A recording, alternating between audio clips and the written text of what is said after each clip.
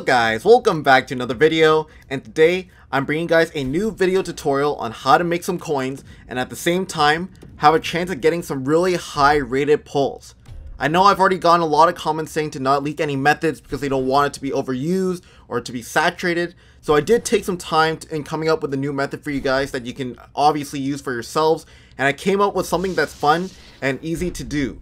So the method we are talking about today is about completing collections. I know a lot of you guys might be like Lamchops. That's nothing new. Collections can't make you money. They are free packs. All the items suck in them. But let me tell you that it is a pretty sick method to make some coins. So in the background, I just put some uh, packs in the background just to showcase what I was getting from them. And although I wasn't getting like a huge amount of 86 plus players or team of the week players, I ended up getting a lot of jerseys, logos, and consumables that were worth a lot of coins if you were to sell them in the marketplace. You guys know I'm doing the collection completer series right now where I'm trying to complete complete every collection in Hut and I was finding that I was pulling a lot of duplicates of stuff that I was already had in my collection already. So what I did was I collected everything from my free packs that was worth something. I didn't collect the crappy trainings or anything, but everything that had some value I kept.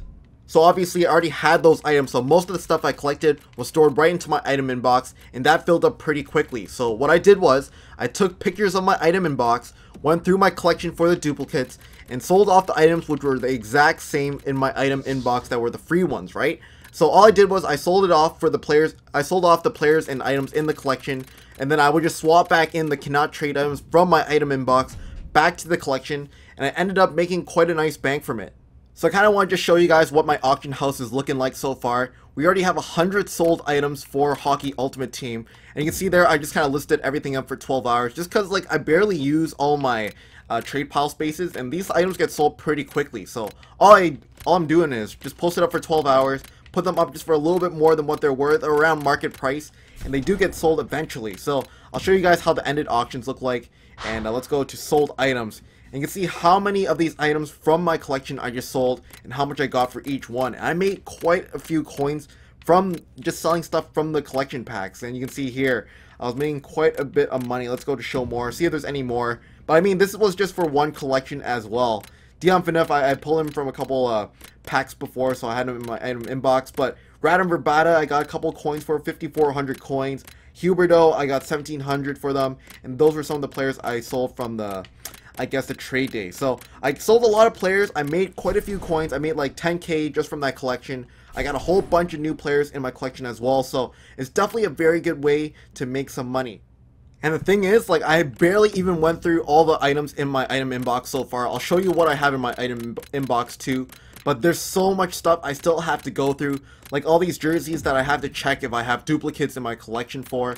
And which I probably will have, but the reason I still haven't like sold off everything is because it does take a little bit of time, but it is definitely worth it to just sell off all the jerseys, sell off all the items that are duplicates from your collection, and they're just kind of replacing it with these things, because I mean, like, it's free pack stuff anyways, right? It's definitely worth the time to just kind of get your free pack stuff into your collection, rather than having your stuff that's actually worth something in your collection just kind of sit in there by itself. So, keep showing you showing you guys some more items here, but it keeps going down. Perot, Mata, and we got some uh, players from there from EA that we still have to give away. But we got Lehner, probably just go through them. Ennis, Prout.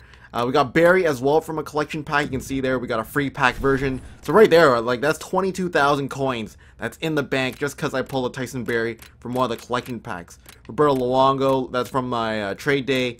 Lupul, and that's just about it. And there are different ways to actually make this an even better method if you want to do it. If you have some more time, what you can do is you can go on play solo, build a team of just all the players in your collection that are worth something, and before they hit to one contract, sell them off, and then uh, just put in back your the stuff from your item inbox uh, to your collection, and then you will be able to make some more coins just from playing games and uh, getting your I guess record up a little bit.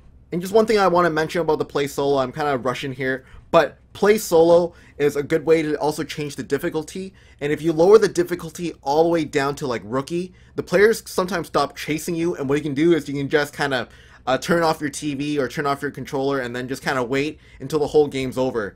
And that will basically be a free thousand coins if you can score like five goals right in the beginning and kind of just let it be uh, and then you'll make like a solid amount of coins just for playing games uh, with some of the players that you already have in your collection that you probably would never use the contracts for anyway. So it's a solid way to make coins if you want to do that method as well. You can obviously still play like single player seasons or online seasons to use up some of those contracts. But anyways, that is it for this method. Try doing some collections, start being smart with your consumables, and just sell them off when you have the ability to. And uh, go through your collection because you have a lot of good stuff that's worth some stuff that you can just replace. And it's practically just free coins in the bank for your ultimate team uh, for if you want to complete it for NHL 17 as well. Just getting that collection bonus up. But anyways, guys, that's about it.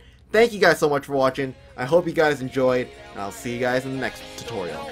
Bye. JR name, uh, Dallas Stars jersey, and 500 coins, I'll definitely take that. Uh, Dallas Stars, yeah, I don't have that jersey yet, so send those to the selection once again. Alright, so two more packs left. This is the second last one, come on. Show us something. Uh,